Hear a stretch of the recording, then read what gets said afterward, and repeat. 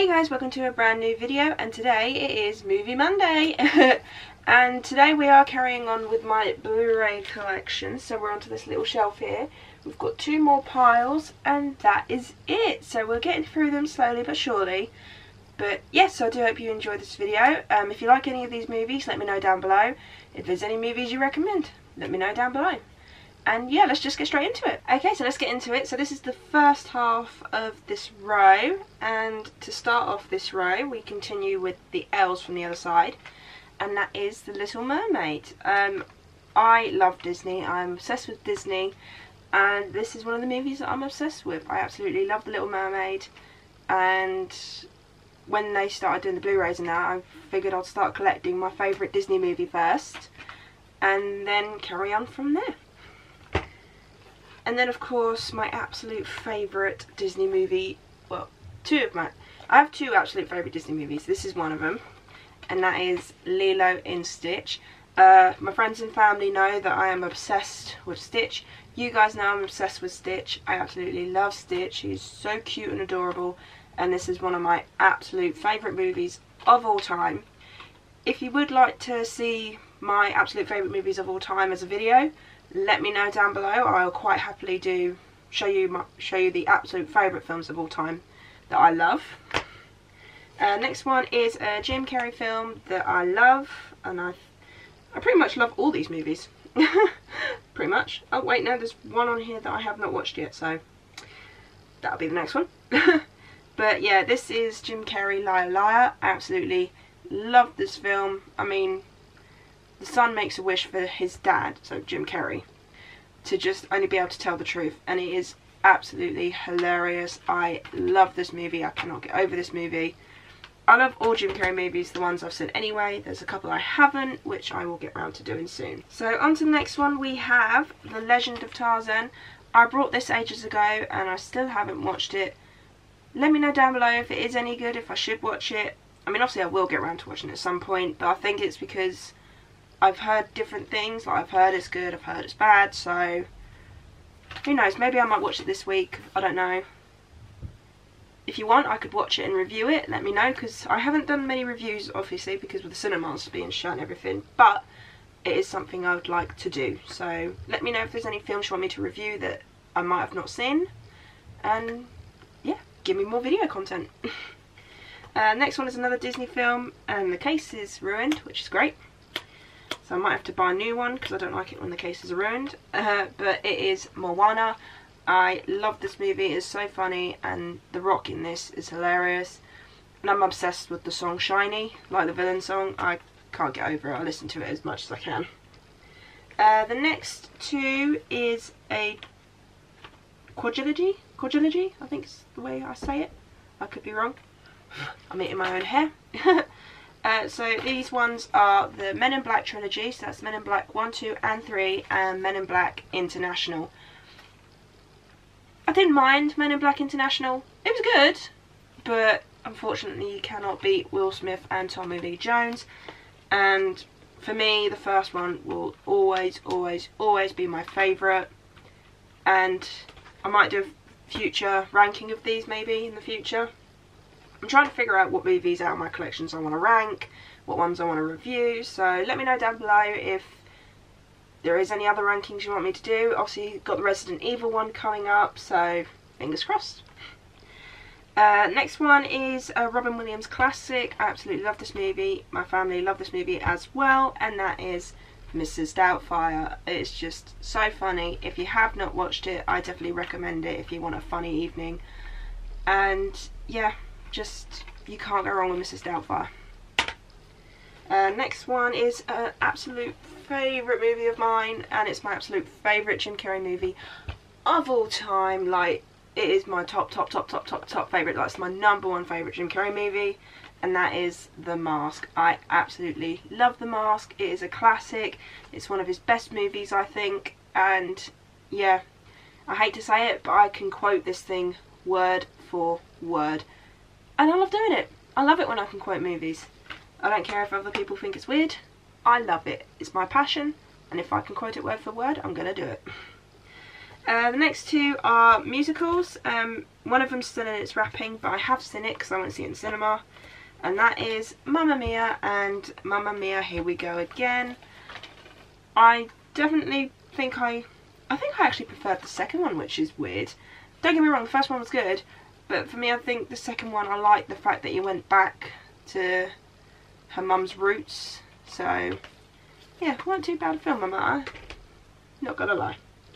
Uh, next one is one of another one of my favourites that I actually only watched a couple of years ago for the first time ever, and that is Moulin Rouge. I love musicals, not gonna lie. I do have quite a few musicals as you have seen so far, but Moulin Rouge is definitely one of my top favourite musicals. Uh, next one, I did have the first two of these movies. I don't know where they've gone, so I'm going to have to get them on Blu-ray because I think I had them on DVD, not Blu-ray. But it is Maze Runner The Death Cure. I was actually able to see all three movies in the cinema, which is fantastic, but I still haven't read the books. I need to read the books. uh, next one is one I was surprised I actually enjoyed. I didn't think it was going to be my kind of movie, but I did actually enjoy it, and that is Mr. and Mrs. Smith. I absolutely love this movie.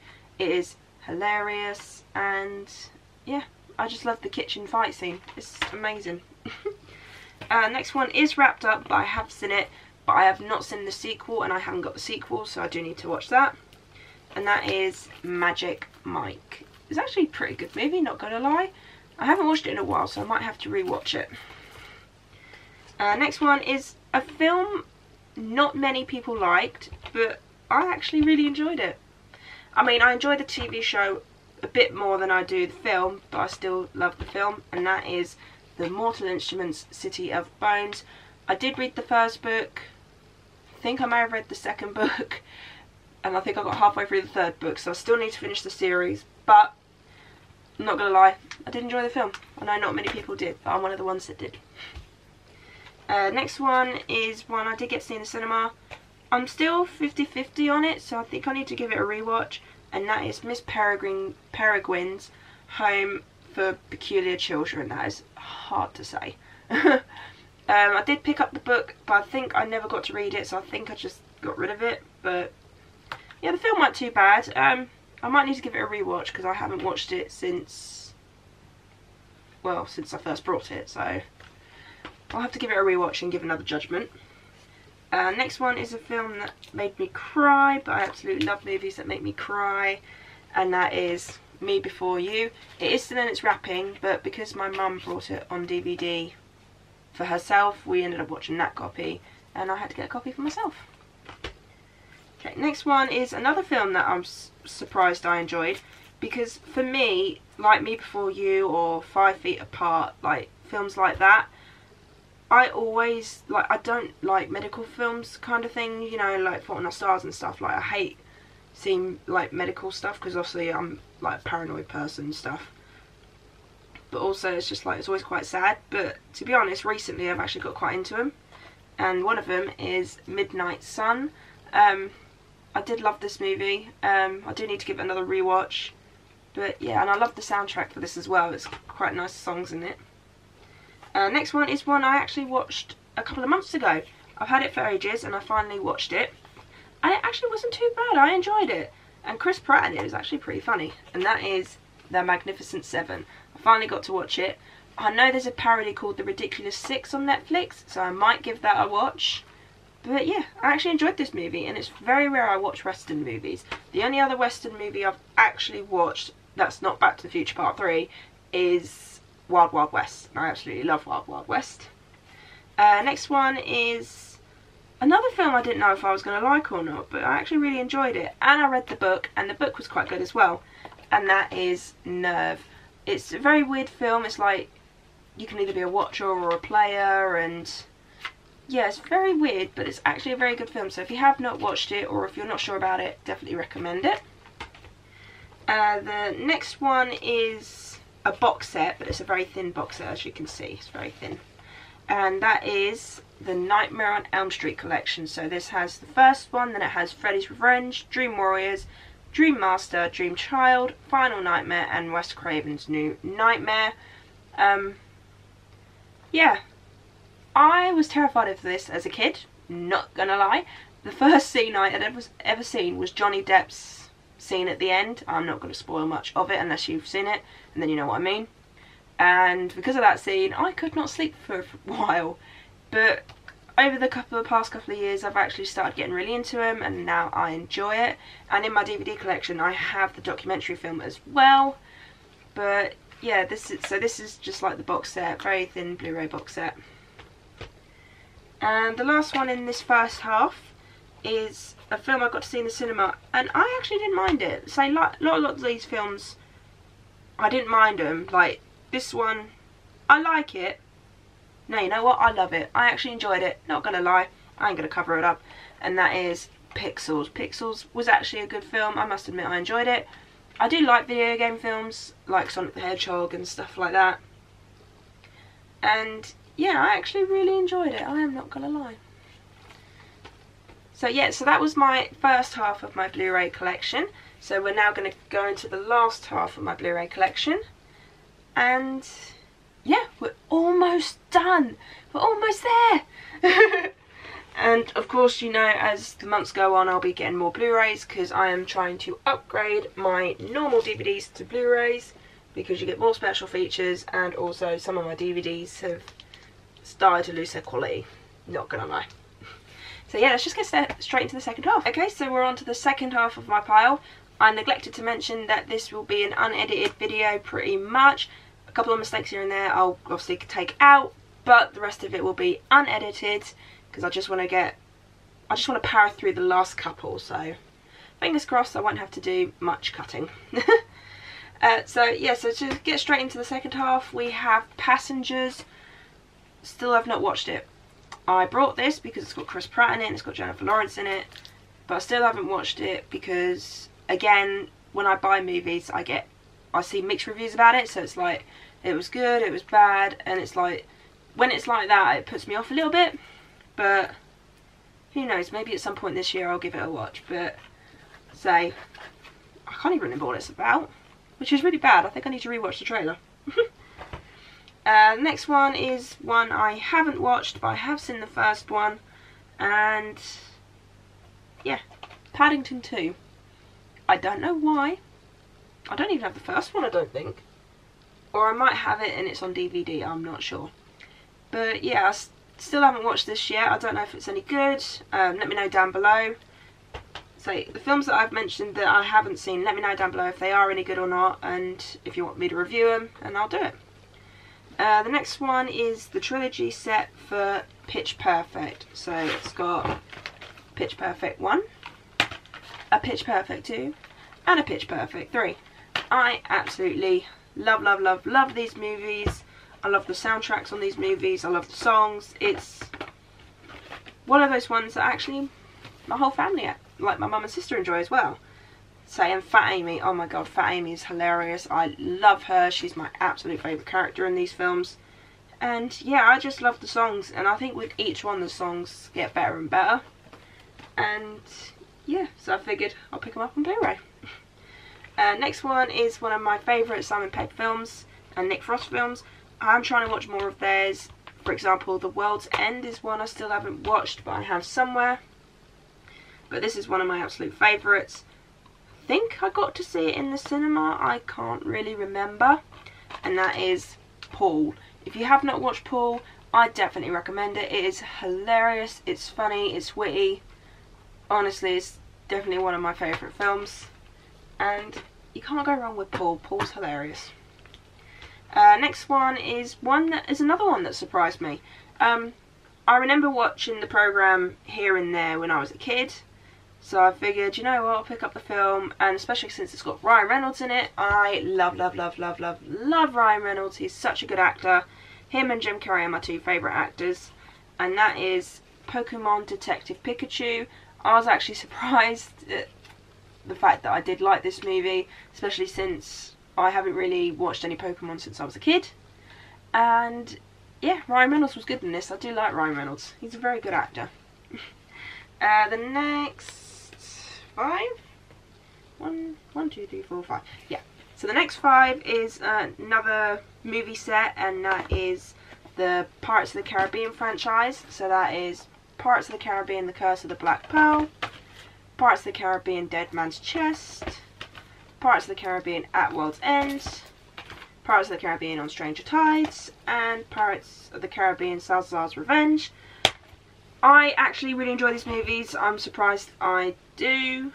Say, like I said, some films surprise me, and some some films I'm like, eh. But these ones actually surprised me at how much I liked them. And the reason why they're still in the wrapping is because they were on sale at HMV, and I just picked them all up at once. And I still haven't unwrapped them, apart from the first one and the most recent one, because I watched it with my mum because she likes the Pirates of the Caribbean franchise. And yeah, it's just if you haven't watched them, definitely recommend them if you like Johnny Depp or if you like Disney because obviously Disney produced them. I heard they're going to do another one. I think there's rumours of another one, but I'm not 100% sure. But who knows? I think I think five's enough for me. I think for me you have to be very careful of how many sequels you do. So carrying on, uh, the next one is the second one to a movie that I've seen both movies. It's just I don't have the first one on Blu-ray. I think I have it on DVD underneath my bed. yeah, there's films under my bed that I will go through at some point. uh, but this is Ralph Breaks the Internet. I do like seeing it go from being arcade games to the internet because it's like showing the evolution and stuff and I did like, not gonna lie, did like the Disney princess scene and I like the fact they were going through Disney and stuff. But yeah, I actually really enjoyed this movie. I don't think I got to see it in the cinema. I think I've only watched it because I got it on DVD. But there you go. Uh, this one is actually really random. So what it is, is I'd gone out for the day and I was doing some shopping and then I got a bit bored and I was like, you know what, I'm going to see what's on. And I saw that this was on and I was like, okay, might be alright, might not be. I've seen the trailer for it once. And I just randomly went to go and see it, and I'm glad I did. And that is Robin Hood. I actually really enjoyed this film, surprisingly. I think it's because it's got Taron Egerton? Egerton? I can't pronounce it. But yeah, I actually really enjoyed this film. This one was another one that surprised me. And yeah, I heard they're doing a sequel for it, I think. I've heard rumours. I hear rumours of a lot of films because obviously I like to keep up to date with what's going on in the film world. But yeah, I'm really surprised by that one. Uh, next two are actually pretty funny, I must admit I did enjoy them. Um, the first one is still in its casing, but for some reason I don't know why. But there you go, I've seen, I've seen them both. And that is Ride Along and Ride Along 2. I love Kevin Hart. Kevin Hart is hilarious. Ice Cube was hilarious in this as well. And yeah, if you want a funny night and if you want a cop movie, I definitely recommend these movies. Uh, the next one is a film I actually watched in high school and I actually really enjoyed it because obviously back in high school you had to watch films based on books and it was like Of Mice and Men and Frankenstein and stuff like that. So this one is Romeo and Juliet. Not gonna lie, I was obsessed with this film for years still one of my favourites, but it's kind of dropped down on my list, so it's not like at the top anymore. It's kind of gone down. But I still enjoy it. I haven't watched it in a while, so I might have to give it a watch. Um, Nobody Kill Me for this one. I have not watched this yet. I keep meaning to. I will watch it eventually, and that is Ready Player One. I've heard it's really good, so don't kill me for it because I have not watched it yet but I do plan on watching this in the next couple of months because I need to start watching the films I've brought that I haven't seen instead of buying films that I have watched and I have seen. Uh, next one, I only have the first one. I borrowed the second one off a friend and I actually really enjoyed the second one as well. And that is The Secret Life of Pets. Again, Kevin Hart. I love Kevin Hart in this. He was hilarious. And I love the cat, Gidget. It's just, she's so funny. I love the cat. The cat is me pretty much most of the time. and yeah, I actually really enjoyed it. Uh, next one is one of my favourite classic childhood films. I think this is the 90s. Yeah, 1996. Um, yeah, it's one of those films I absolutely enjoyed. They have confirmed that there is a sequel for it. I don't know how I'm going to feel about that, but there you go, they're doing sequels to films from ages ago now, and some of them have been alright, so fingers crossed this one will be. And that is Space Jam. If you haven't watched Space Jam, I definitely recommend it. I'm throwing it. I definitely recommend it, um, especially if you want to feel nostalgic, if you were born in the 90s, or if you just enjoy Bugs Bunny. I definitely recommend this movie. Uh, next one is one I wasn't going to watch, but then I'm glad I did. I do like the soundtrack on this movie, and again, it's got Taron Eric Egerton. I can't say his name. I'm sorry. Uh, and that is Sing. This is one of those ones that actually surprised me. I think for me though, I think it's more the soundtrack. Like I like the voices on this film. Um, but yeah, I wonder if they'll do a Sing 2 because they seem to be doing a lot of sequels recently. Uh, next one is a Melissa McCarthy film. I love Melissa McCarthy. She always makes me laugh. She's one of my top favourite actresses. And it is Spy. If you have not watched it, I definitely recommend it. It is one of Melissa, one of Melissa McCarthy's best films, I think. Along with Bridesmaids. Oh my god, I loved her in Bridesmaids. She's hilarious in that. and yeah, so definitely recommend it if you like spy movies. I definitely recommend it if you want just a funny night in. And if you like Miss if you like Melissa McCarthy. I can't speak today. Again. uh, next one is one I brought at random because it looked funny. And it actually was pretty funny.